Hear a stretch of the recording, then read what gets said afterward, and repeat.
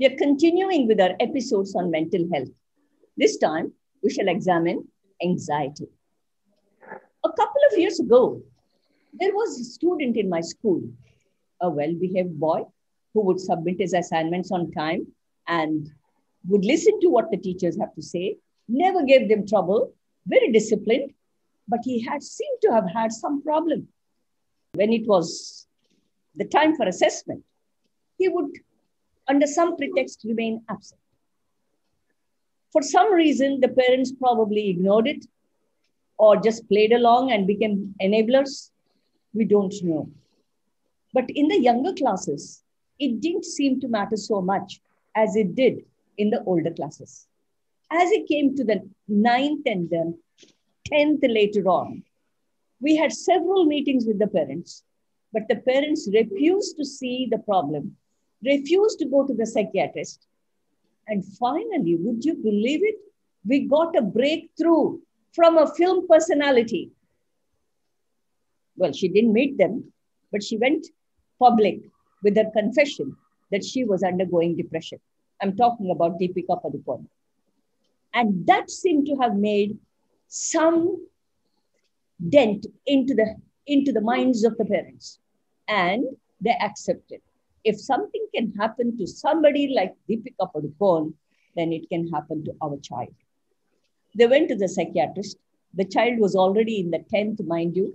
It was just a couple of months before the boards. The psychiatrist advised them to drop the ear. Now, at this point, I think it's time for Monica to come in. Monica, as you know, is a school counselor. Monica, did this child have examination anxiety? What is anxiety?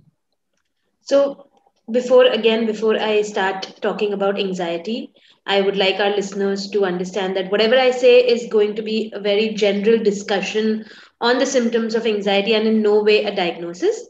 So, if you are seeing similar symptoms in yourself, the best thing to do would be to go to a mental health professional and get yourself officially diagnosed. Now, to answer your question, ma'am, uh, it does sound like the child had exam anxiety because his constant absence during the assessment points to that. Uh, but more on that would we would be able to only understand it once we talk to the child once we talk to uh, once we try to understand what kind of symptoms he was facing during the uh, exams and what situation he was in at home now anxiety generally means a sense of worry a sense of constant worry a sense of restlessness and uh, constant nervousness about how the situation is going to uh, come out. So what kind of result is the child or generally any person in a stressed situation is going to face? So anxiety generally happens when there is a, a fear of the unknown if you are in an unknown situation or an unfamiliar situation that's when you start feeling nervous. And if that nervousness becomes so much that you're not able to face a situation at all or you find out or you try to find out ways to avoid that situation that could be a symptom of anxiety disorder. All of us at some time or other face the fear of the examination. Does it mean that we are undergoing anxiety not necessarily uh, usually stress leads to nervousness stress leads to anxiety but if we are still able to face that situation despite the anxiety it's not an anxiety disorder. But if what happens is that anxiety t- gets the better of us and we are not able to face the situation at all, our functionality gets affected, that's when it could be an anxiety disorder and needs professional intervention. So, what you're trying to tell us here is that every individual undergoes anxiety at some point or other and that does not mean that we are suffering from anxiety disorder. Yes. So anxiety disorder is different from having bouts of anxiety at some time or other? Yes absolutely. Then what is this anxiety disorder? What causes it yeah. So anxiety disorder is something that stops you from functioning like you regularly would. Okay so it, it there are different forms of anxiety. Like we spoke about that child who was showing symptoms of anxiety, exam anxiety. Some people have anxiety of being in situations where they from where they may not have an escape. Okay so open places or uh, you know uh, maybe traveling. Yes heights you know something like heights. So all these are various kinds of anxiety. Now it could be caused by just a person's general disposition. So we all are different by nature and there's a possibility that some of us are more prone to being anxious than others.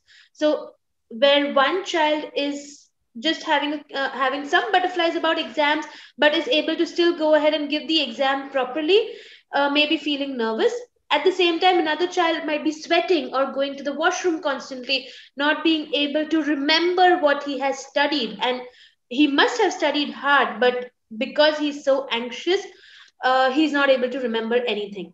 So it could be an inherent nature of the person or it could be the environment. So somebody might come from a very high pressure environment where failure to perform could have serious consequences and that's why that person might be facing so much anxiety that they are not able to uh, attend attempt the exam at all. The others might be coming from a more relaxed environment. So they're able to they know that even if the results are bad it's not the end of the world and they will uh, get a chance to to improve themselves or they know that they will be supported uh, in their home environment. So it could be the person's inherent nature that could be the cause of anxiety it could be the person's environment or it could be a mix of both.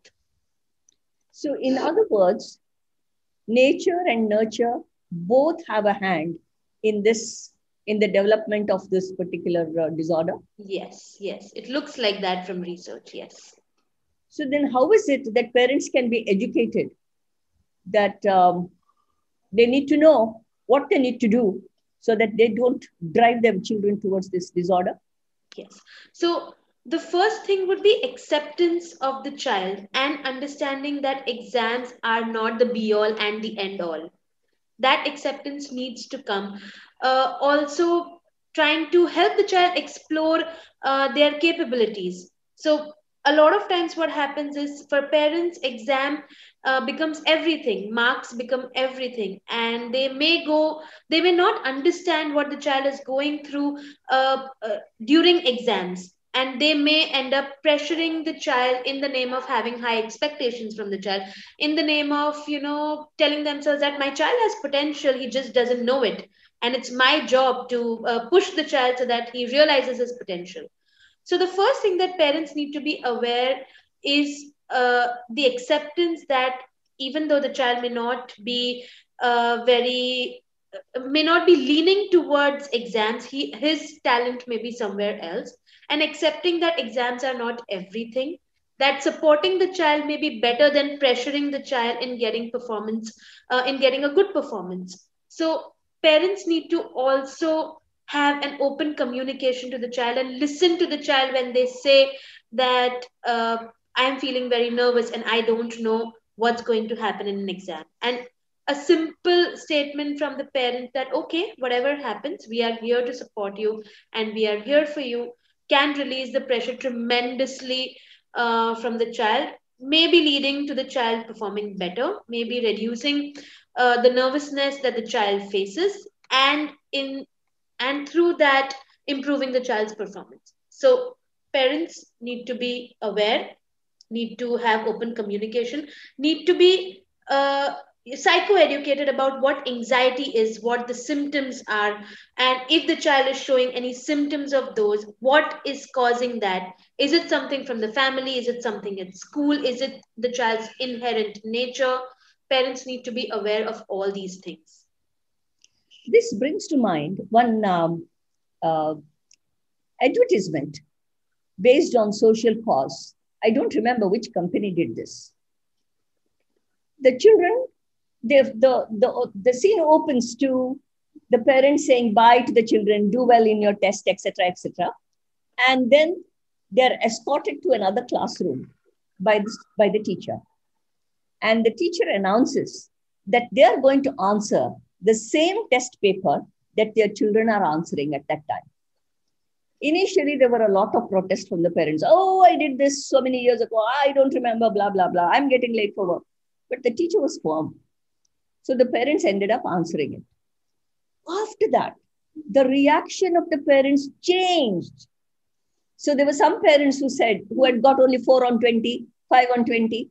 So all that, you've got 19. Where did that one mark go? Yeah. That changed. That changed to we understand you work so hard. There was an open, there was an acceptance on the part of the parents because they had gone through the test and they realized how difficult it is for them to answer. Therefore, yeah. it will be as difficult for their children to answer. Yeah. So, this was a social experiment. I don't think uh, parents would be kind enough to the schools if we were to do this. Yeah. But it's worth a thought. We can yes. probably show that particular video to the parents and make them understand yes. if things go out of hand. Anyway, yeah. coming back to this, can um, anxiety be related to depression? So, uh, anxiety and depression a lot of times are comorbid that means they can happen simultaneously but there is not enough research to prove that one may be the cause of the other so what happens? But the sad part is a lot of times we do see that uh, people who are anxious even children who are anxious also tend to be depressed maybe because they are not getting help with anxiety. And the resulting uh, difficulty is that children who have both anxiety and depression are very are, are more resistant to treatment as compared to children who are just facing one of the two uh, concerns so they may not be causing each other, but they do go hand in hand a lot of the times. I see. Um, does this anxiety have an effect on our body? It does. It does to a large extent. It does. Uh, the body releases something called a stress hormone when we are anxious. And this may cause a lot of unexplained uh, somatic symptoms, is what we say. So, headaches, stomach ache, nausea, diarrhea, anything unexplained, any physical unexplained uh, uh, illness could be caused by anxiety.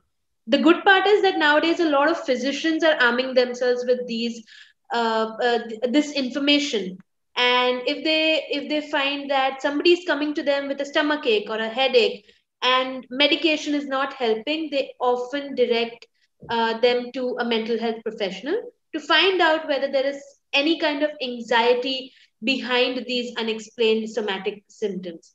So, yes, anxiety does have an effect on our body. It lowers our immunity, it makes us feel less energetic. So, it's very important that uh, unexplained uh, bodily illnesses be taken seriously and uh, a, a, a mental health professional be consulted so that if there is any underlying mental health concerns, that is found out and worked upon.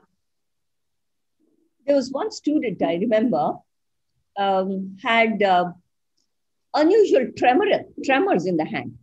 Mm. The tremors were so severe that he could not even hold a pen or a pencil and write. Oh, okay.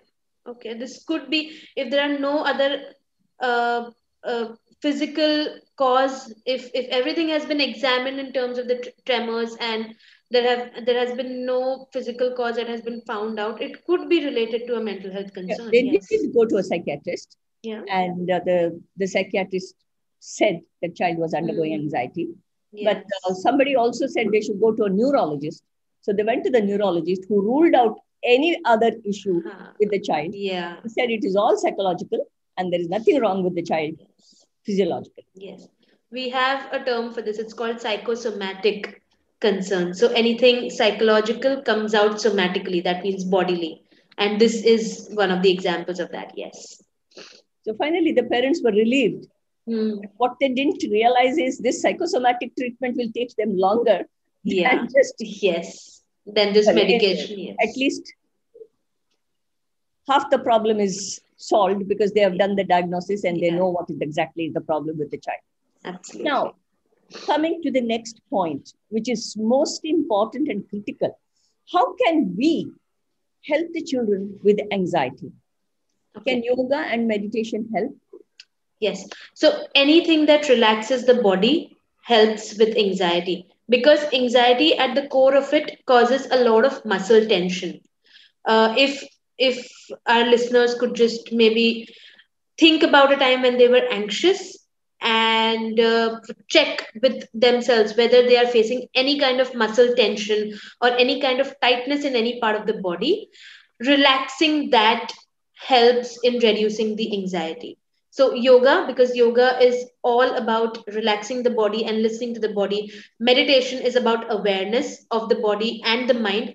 All this helps with anxiety uh, because they ultimately they are helping with awareness and they are helping uh, relax the body. So yes yoga and meditation to a large extent help build this awareness and help with anxiety also. Um, i remember you're mentioning some uh, technique to relax the body. Can we have a yes. quick demo of that? Of course of course. So uh, if if our listeners and ma'am if you also could take 10 seconds, 10 quick seconds to run a scan through your entire body and find out if there is any tension in any part of the body. It shouldn't, it should be a quick scan to just understand if there is any tension right from your toes up to your head. A quick scan and uh, I will give you a countdown and you can just run that scan. Okay, so let's start. One, two, three, four, five, six, seven, eight, nine, ten. All right. Now that you have identified the tension in your body, I will again give you a countdown. All you have to do is take a few deep breaths, focus on that part of the body, and just let go of the tension. Let it loose. Just feel it being relaxed. Okay, so I'll start the countdown now. One, two, three, four, five, six, seven, eight, nine, ten. That's it. The point of this exercise is if you are in a situation where you can't sit down and spend a lot of time to relax yourself if you are in the situation which is anxiety inducing this quick scan and this quick relaxation helps you gain control of yourself helps reduce anxiety to some extent and it helps you get back into the situation and face the situation uh, as best as you can now i understand that it sounds very simple but it may not be easy because remembering to do this in the situation is something that comes with practice. So the more uh, you practice, the better you will get at doing this quick uh, exercise to relax yourself in, in a stressful situation. So what you're saying is when you're when you're anxious, most of the time you cannot think rationally. Reasoning yeah gives you. Yes. Yeah. So you will not be able to remember. Now, there's something I wanted to share with everybody. We have a meditation session in the morning in the school. When the offline mode was on, the children would drop whatever they are doing, the teachers, children, everybody together in the class would meditate. Now, in an online mode, we still try to do it, but most of the time the videos are off, so we don't know whether the children yes. are doing it or not doing it but we're not going to give up. Yeah. We'll continue to do what we can, even if we can spread the message to 2% of the people, that would be worth our while. Where do you find the professionals to, uh, to get in touch with? This yes. is one question which I should have asked earlier. Where do you find the professionals? Yes. So uh, if you have children going to school, you can approach the school counselor and they will be very happy to give you references. You can ask your family doctor as well. They usually have uh, the references of a few psychiatrists and a few uh, psychologists on their list as well. Or you can send in an email to us and we will be happy to give you a reference if you feel that you need to consult a mental health professional. So I think with this, we come to the end of our episode. Um, if you have any queries, please do write to us. And we'll be more than happy to answer. And um, you can send your queries to a story for your query. But what I see is that nobody really wants to write in and ask a question. Well, in that case, you send a message to us. You can send a voice message on Spotify, and we'll be more than happy to answer you. Yeah, but do that. We are here to help you. Thank you very much. Let those queries keep coming in, please. And that's all for today. Together we say, stay fit, stay healthy. We will see you next week. Thank you. Take care, everyone. Bye bye.